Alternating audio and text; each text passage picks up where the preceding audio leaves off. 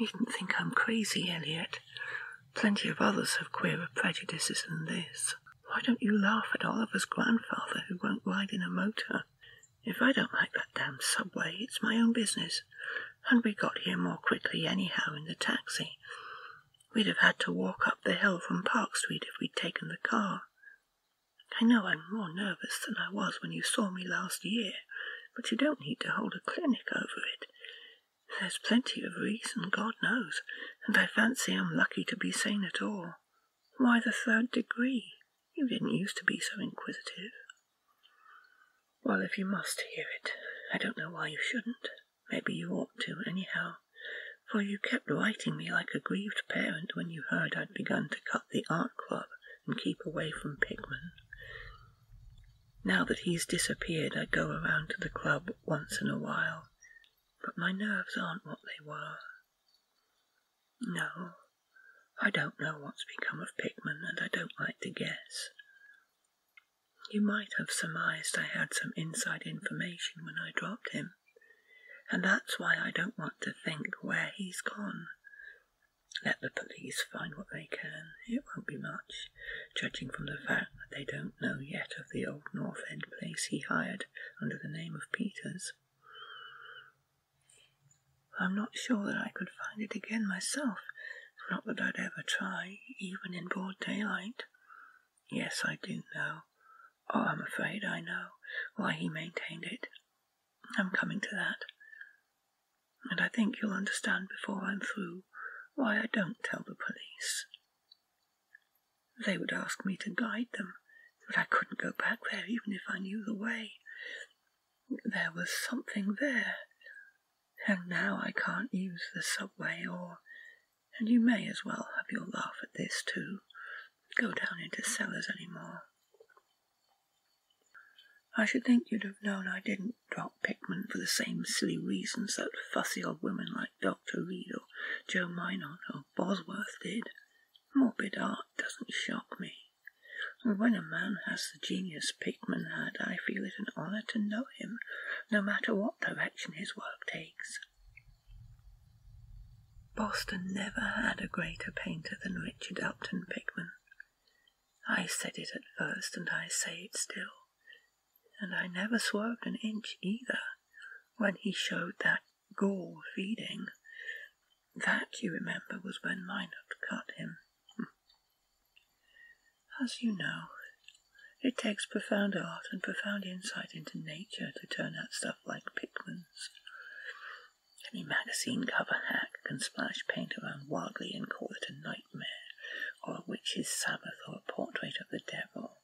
But only a great painter can make such a thing really scare or ring true. That's because only a real artist knows the actual anatomy of the terrible or the physiology of fear, the exact sort of lines and proportions that connect up with latent instincts or hereditary memories of fright, and the proper color contrast and lighting effects to stir the dormant sense of strangeness. I don't have to tell you why a Fuseli really brings a shiver, while a cheap ghost story frontispiece merely makes us laugh. There's something those fellows catch, beyond life, that they're able to make us catch for a second. Dore had it, Sime has it, Angarola of Chicago has it, and Pickman had it as no man ever had it before, or I hope to heaven ever will again. Don't ask me what it is they see. You know, in ordinary art, there's all the difference in the world between the vital, breathing things drawn from nature or models and the artificial truck that commercial small fry reel off in a bare studio by rule. Well, I should say that the really weird artist has a kind of vision which makes models, or summons up what amounts to actual scenes from the spectral world he lives in. Anyhow, he manages to turn out results that differ from the pretender's mince pie dreams in just about the same way that the life painter's results differ from the concoctions of a correspondence school cartoonist. If I had ever seen what Pickman saw, but no. Here, let's have a drink before we get any deeper. God, I wouldn't be alive if I'd ever seen what that man, if he was a man, saw. You recall that Pickman's forte was faces. I don't believe anybody since Goya could put so much of sheer hell into a set of features or a twist of expression. And before Goya, you have to go back to the medieval chaps who did the gargoyles and chimeras on Notre Dame and Mont Saint Michel. They believed all sorts of things, and maybe they saw all sorts of things too, for the, the Middle Ages had some curious phases. I remember your asking Pickman yourself once, the year before you went away, wherever in thunder he got such ideas and visions. Wasn't that a nasty laugh he gave you? It was partly because of that laugh that Reed dropped him. Reed, you know, had just taken up comparative pathology was full of pompous inside stuff about the biological or evolutionary significance of this or that mental or physical symptom. He said Pickman repelled him more and more every day, and almost frightened him toward the last. That the fellow's features and expression were slowly developing in a way he didn't like in a way that wasn't human. He had a lot of talk about diet and said Pickman must be abnormal and eccentric to the last degree. I suppose you told Reed, if you and he had any correspondence over it, that he'd let Pickman's paintings get on his nerves or harrow up his imagination. I know I told him that myself, then.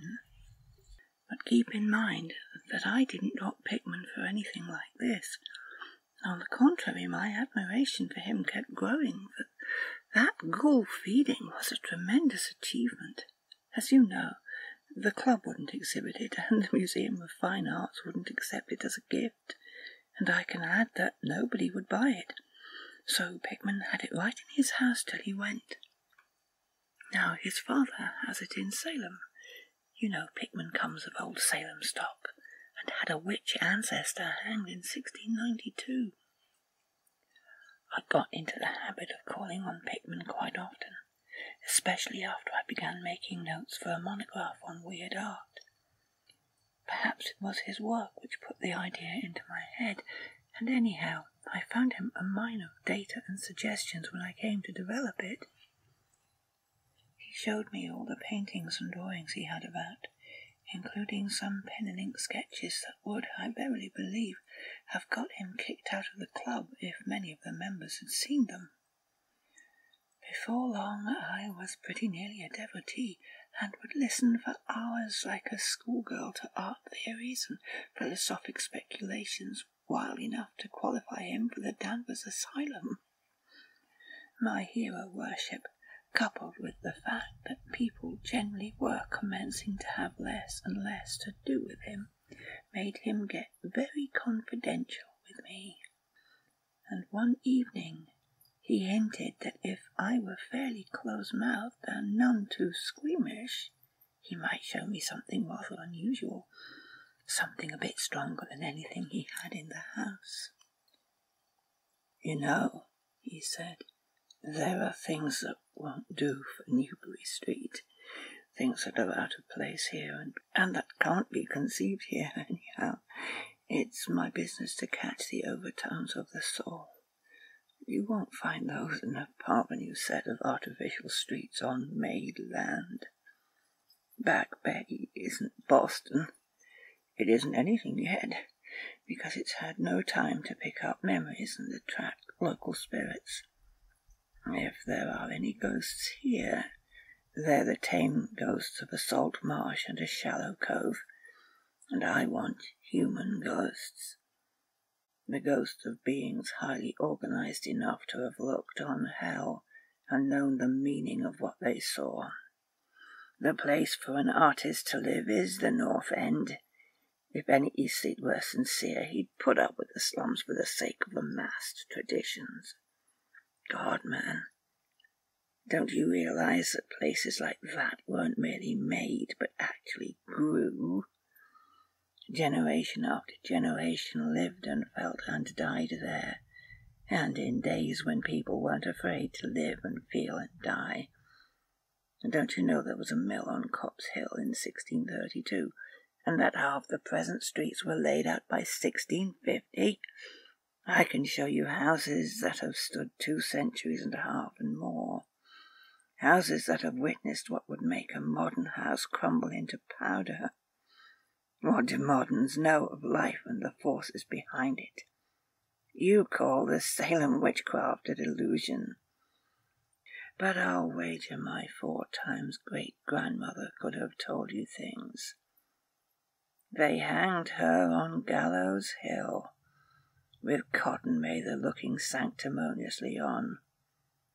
Mather, damn him, was afraid somebody might succeed in kicking free of this accursed cage of monotony. I wish someone had laid a spell on him, or sucked his blood in the night. I can show you a house he lived in, and I can show you another one he was afraid to enter, in spite of all his fine bold talk.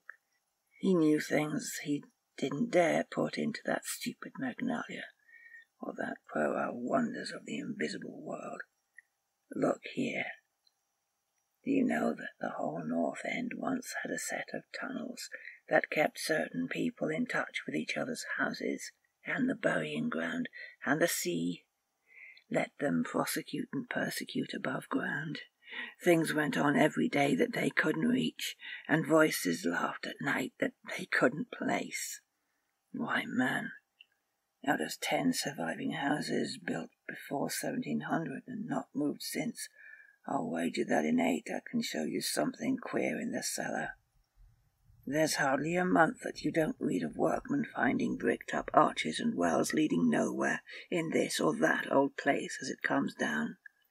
You could see one near Henchman Street from the elevated last year.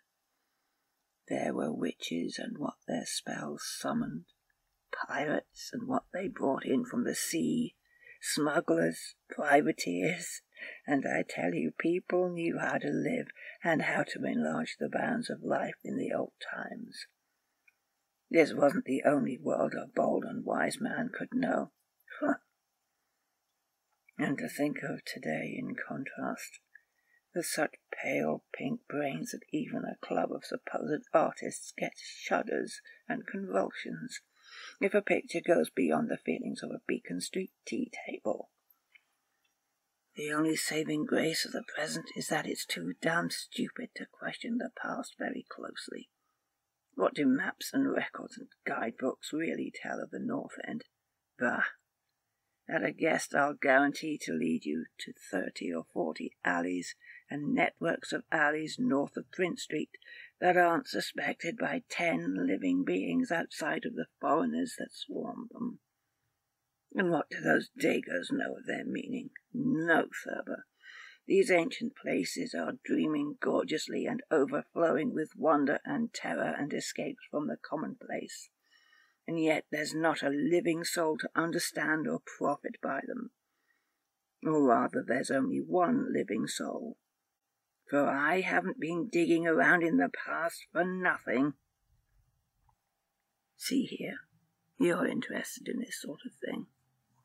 What if I told you that I've got another studio up there where I can catch the night spirit of antique horror and paint things that I couldn't even think of in Newbury Street?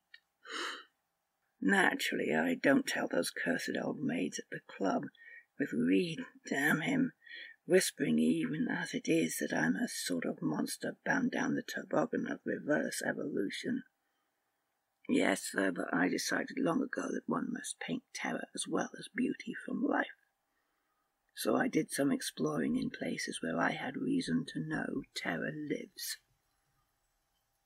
I've got a place that I don't believe three living Nordic men besides myself have ever seen. It isn't so very far from the elevated as distance goes, but it's centuries away as the soul goes. I took it because of the queer old brick well in the cellar, one of the sort I told you about. The shack's almost tumbling down so that nobody else would live there, and I'd hate to tell you how little I pay for it. The windows are boarded up, but I like that all the better, since I don't want daylight for what I do. I paint in the cellar where the inspiration is thickest, but I've other rooms furnished on the ground floor. A Sicilian owns it, and I've hired it under the name of Peters. Now, if you're game, I'll take you there tonight. I think you'd enjoy the pictures, for as I said, I've let myself go a bit there. It's no vast tour. I sometimes do it on foot, for I don't want to attract attention with a taxi in such a place. We can take the shuttle down to South Station for Battery Street, and after that the walk isn't much. Well, Elliot, there wasn't much for me to do after that harangue but to keep myself from running instead of walking to the first vacant cab we could sight. We changed to the elevated at the South Station, and at about twelve o'clock had climbed down the steps at Battery Street and struck along the old waterfront past Constitution Wharf. I didn't keep track of the cross streets, and can't tell you yet which it was we turned up, but I know it wasn't Greenough Lane. When we did turn, it was to climb through the deserted length of the oldest and dirtiest alley I ever saw in my life, with crumbling looking gables, broken small paned windows, and archaic chimneys that stood out half disintegrated against the moonlit sky. I don't believe there were three houses in sight that hadn't been standing in Cotton Mather's time. Certainly I glimpsed at least two with an overhang, and once I thought I saw a peaked roof line of the almost forgotten pre-gambrel type, though antiquarians tell us there are none left in Boston. From that alley, which had a dim light, we turned to the left into an equally silent and still narrower alley with no light at all, and in a minute made what I think was an obtuse angled bend toward the right in the dark. Not long after this, Pickman produced a flashlight and revealed an antediluvian ten panelled door that looked damnably worm eaten. Unlocking it, he ushered me into a barren hallway with what was once splendid dark oak panelling, simple, of course, but thrillingly suggestive of the times of Andros and Phipps and the witchcraft. Then he took me through a door on the left, lighted an oil lamp, and told me to make myself at home.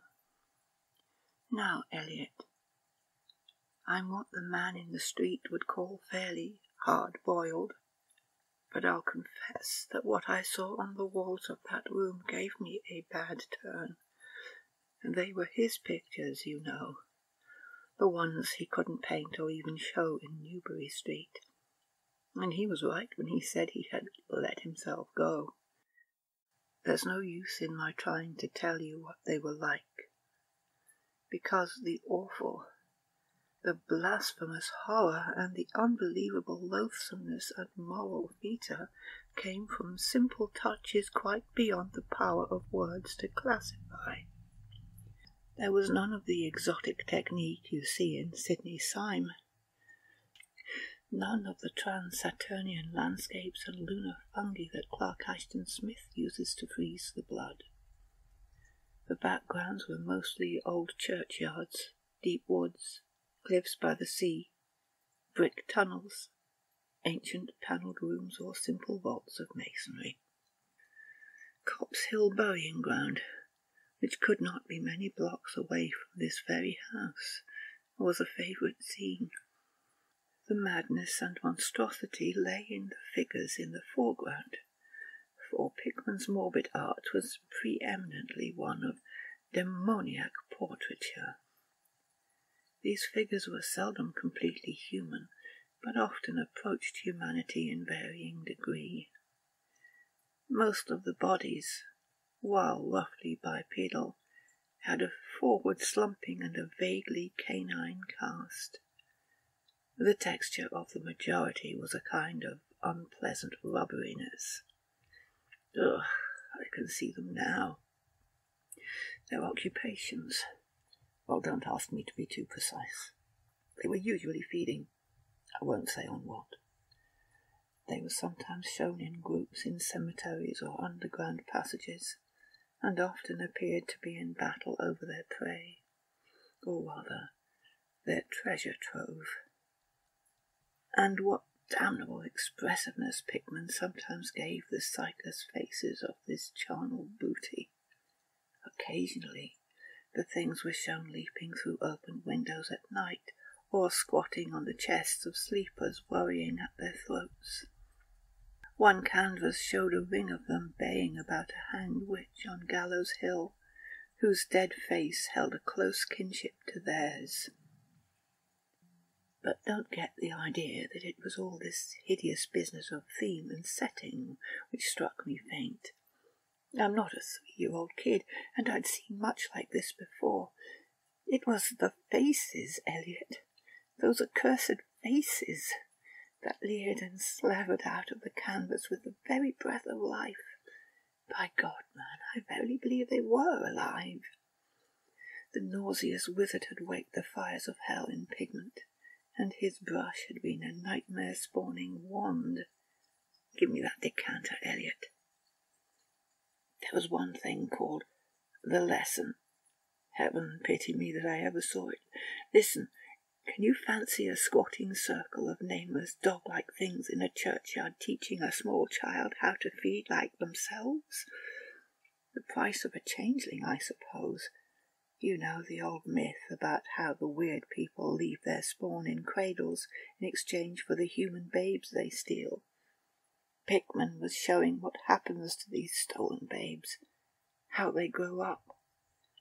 And then I began to see a hideous relationship in the faces of the human and non-human figures.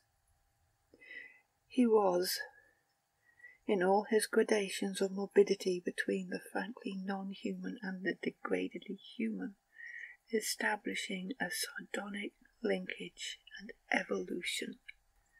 The dog things were developed from mortals and no sooner had I wondered what he made of their own young, as left with mankind in the form of changelings, that my eye caught a picture embodying that very thought. It was that of an ancient Puritan interior, a heavily beamed room with lattice windows, a settle, and clumsy seventeenth century furniture, with the family sitting about while the father read from the scriptures.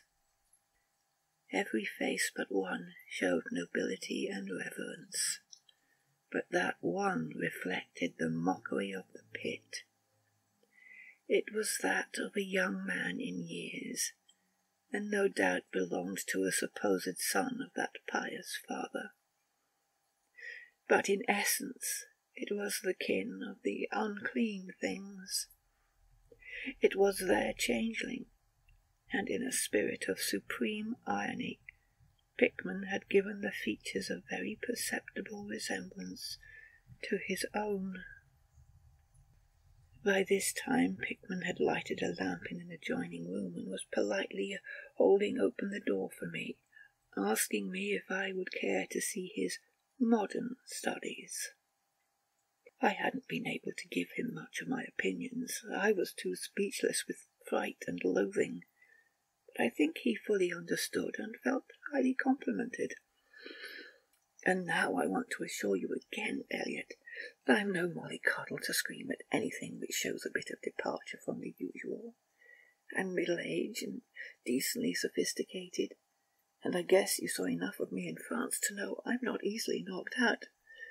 Remember, too, that I'd just about recovered my wind and gotten used to those frightful pictures which turned colonial New England into a kind of annex of hell. Well, in spite of all this, that next room forced a real scream out of me, and I had to clutch at the doorway to keep from keeling over. The other chamber had shown a pack of ghouls and witches overrunning the world of our forefathers, but this one brought the horror right into our own daily life. God, how that man could paint. There was a study called Subway Accident in which a flock of the vile things were clambering up from some unknown catacomb through a crack in the floor of the Boylston Street subway and attacking a crowd of people on the platform. Another showed a dance on Copp's Hill among the tombs with the background of today. Then there were any number of cellar views with monsters creeping in through holes and rifts in the masonry and grinning as they squatted behind barrels or furnaces and waited for their first victim to descend the stairs. One disgusting canvas seemed to depict a vast cross section of Beacon Hill with ant like armies of the mephitic monsters squeezing themselves through burrows that honeycombed the ground. Dances in the modern cemeteries were freely pictured, and another conception somehow shocked me more than all the rest as seen in an unknown vault where scores of the beasts crowded about one who held a well-known Boston guidebook and was evidently reading aloud. All were pointing to a certain passage, and every face seemed so distorted with epileptic and reverberant laughter that I almost thought I heard the fiendish echoes. The title of the picture was Holmes, Lowell, and Longfellow lie buried in Mount Auburn.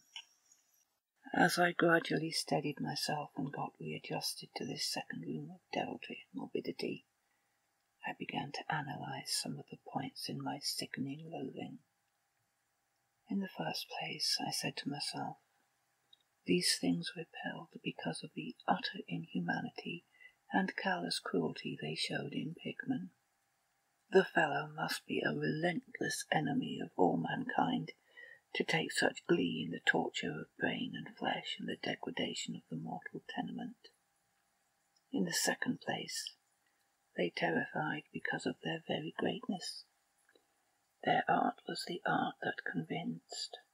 When we saw the pictures, we saw the demons themselves and were afraid of them.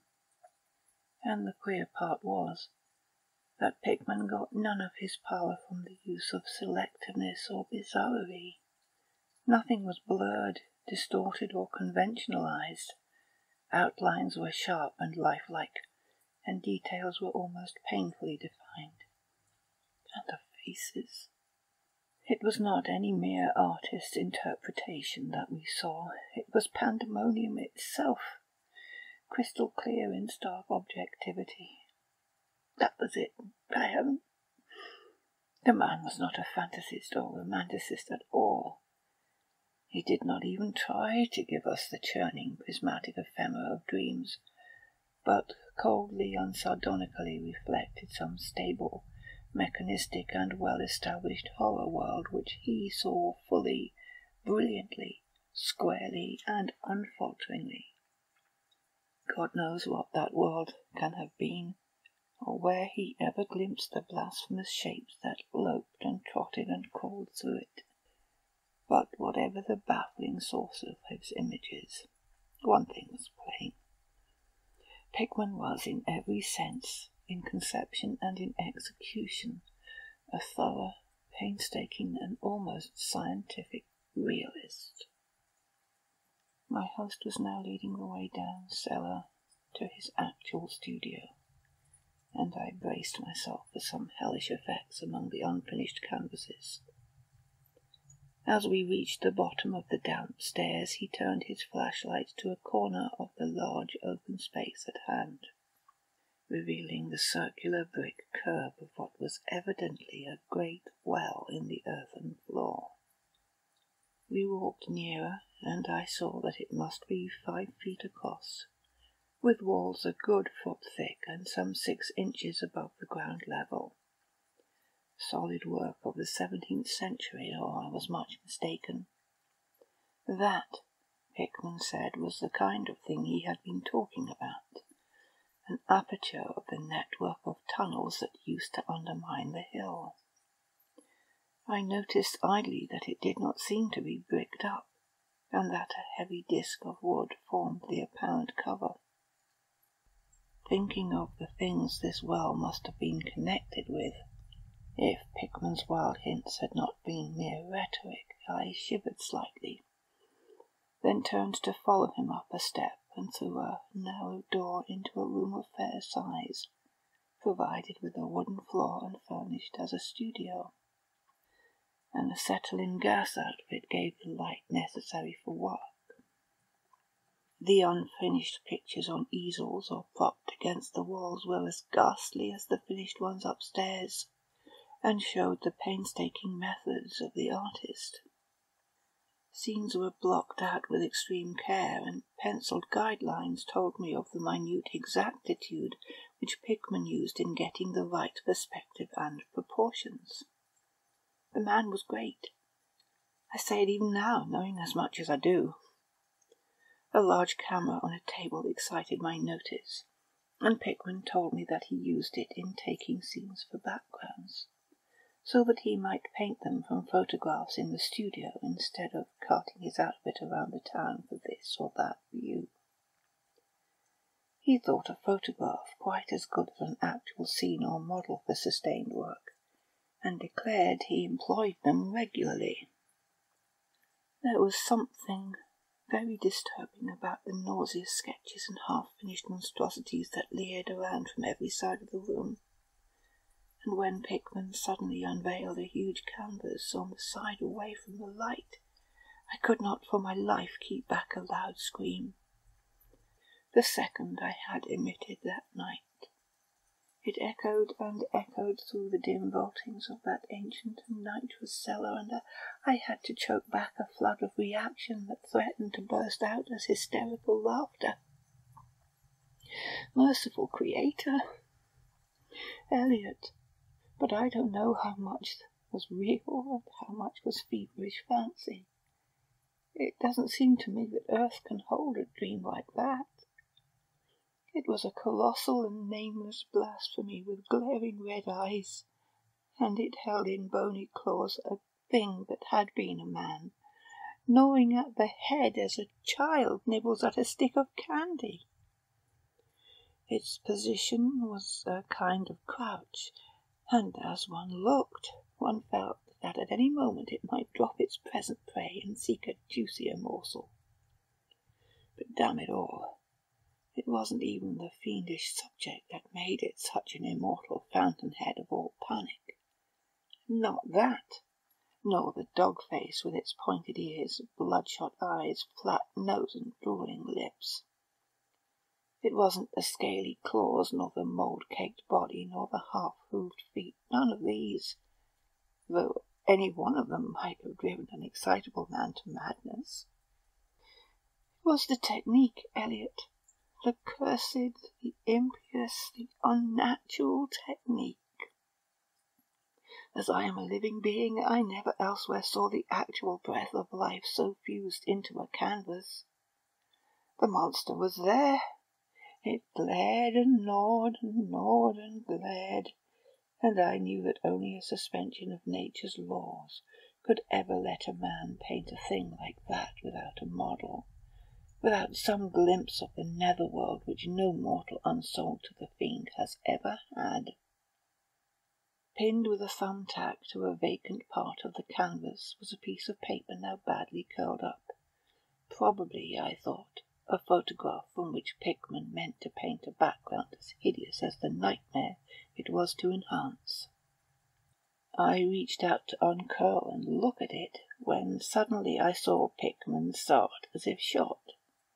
He had been listening with peculiar intensity ever since my shocked scream had waked unaccustomed echoes in the dark cellar, and now he seemed struck with a fright which, though not comparable to my own, had in it more of the physical and not the spiritual.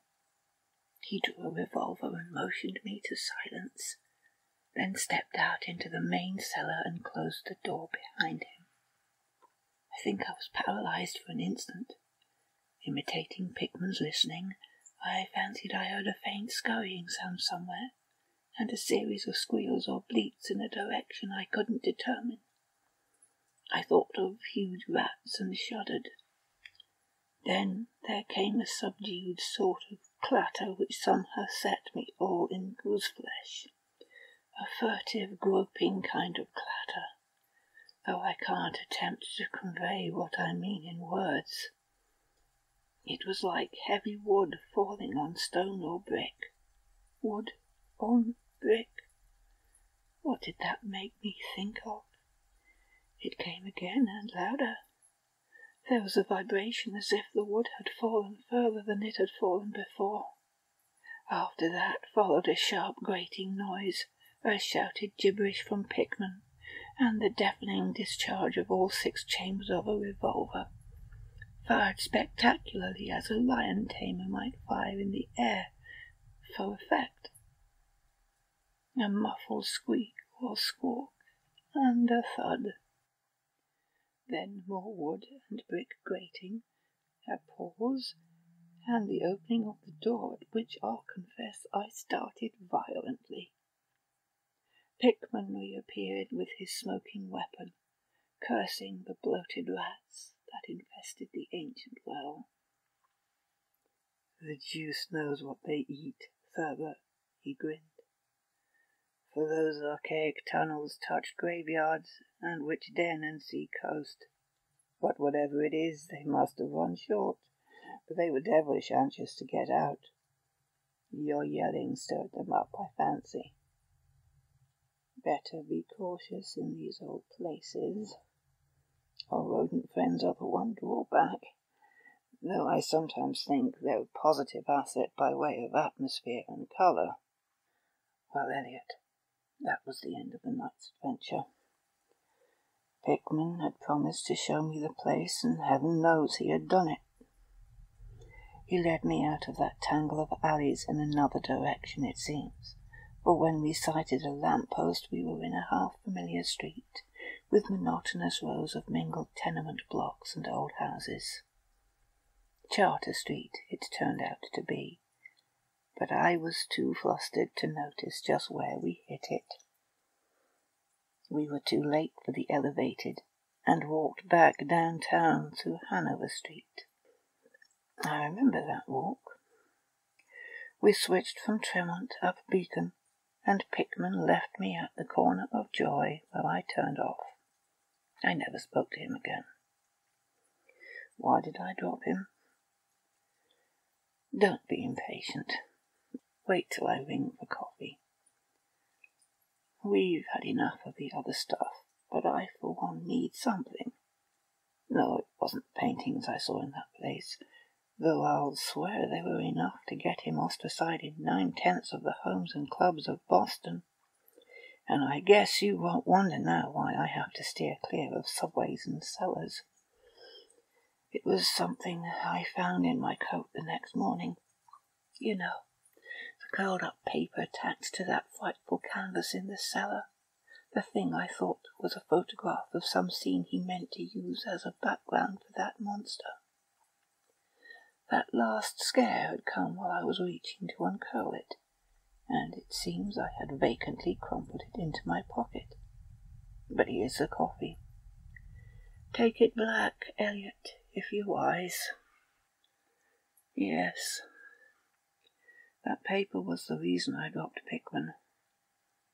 Richard Upton Pickman, the greatest artist I have ever known, and the foulest being that ever leaped the bounds of life into the pits of myth and madness.